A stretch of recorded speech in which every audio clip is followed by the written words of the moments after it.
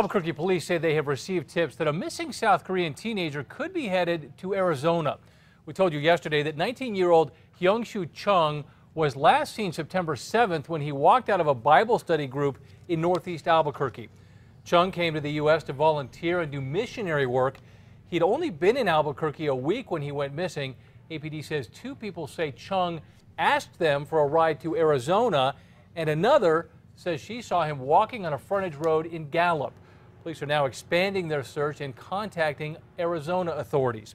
They say they don't know why he would go to Arizona. He has no contacts there. Police say he left everything behind, including his passport. Chung does not have a cell phone and speaks very little English.